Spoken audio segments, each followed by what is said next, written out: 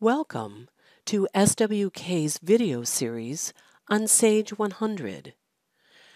This video is going to demonstrate inventory requirements planning. The setup of this new module is very simple. I basically have the option to include or not the sales order module in the calculation of purchase orders or the production management module. In my demo data, I am a distribution company, so only the sales order module is available as an option.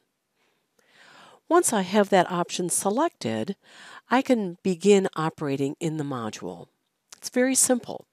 I'm going to launch the uh, panel here that allows me to make some selections or some filters based on item code, product line, warehouse code, buyer code, planner codes, and I can also select a cutoff date for my sales order promise dates and my requirement dates from my purchase orders.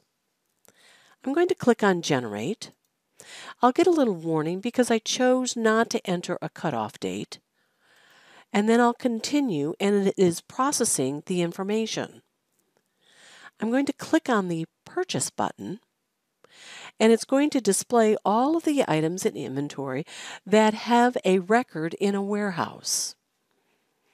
Now, as you can see, I have many things here that might make this a little hard to work with, so I'm going to put in some filters. The first thing I'm going to do is select a warehouse code, and I'm going to work in Warehouse 001. It's made my list a little more manageable.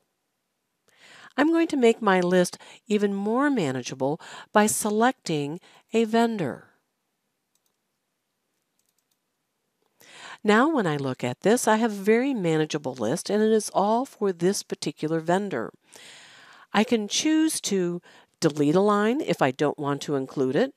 I'll just delete, hit my delete icon or I can choose to put it on hold so it will display, but if I uh, create my purchase orders, it will not be included in that purchase order. Now, when I look at the item on line 3, we could see it's recommending that I purchase 74. I have the information right in front of me that I have a quantity on hand of 45, quantity on purchase order, quantity on sales order of 52. It's also telling me what my maximum on hand quantity is set to in my reorder points, and I have selected maximum stock level. If I want to know a little more information about this, I'm going to click on the detail icon. This is going to show me what the balance is going to be of this particular item should I do nothing. You'll see here that on 715 2020, I'm going to run out of um, inventory. Now, I might want to look at this list perhaps without this sales order. Maybe I know this is a special sales order and I intend later to issue a, a separate purchase order just for to supply this. And you could see that it changes my balance. It's no longer considered.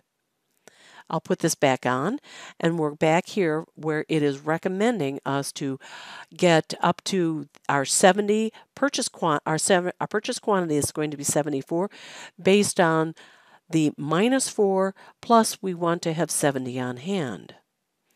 Now I can override the 74. I can choose to buy 50 or whatever I want. I can come into my unit cost and I know that I'm purchasing it for $80 instead of $81. The unit cost is coming over from the purchase order module.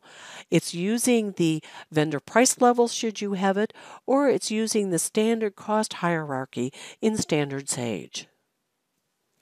I'm going to put most of the uh, these other items on hold. And then I'm going to generate my purchase orders.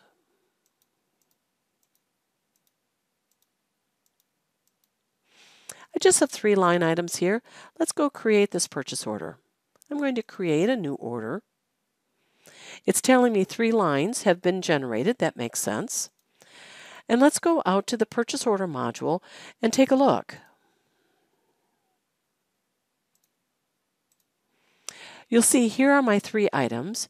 You'll see the cost override that I had, plus the override on the quantity.